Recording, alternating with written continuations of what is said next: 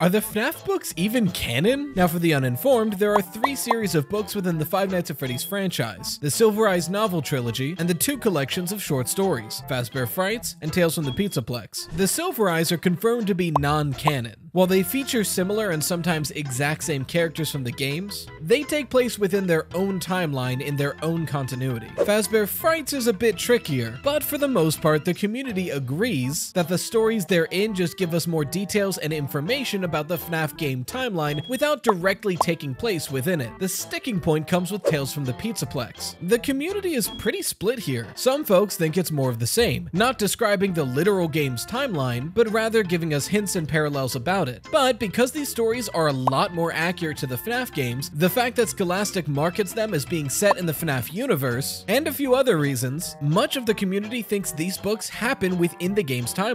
So what do you think?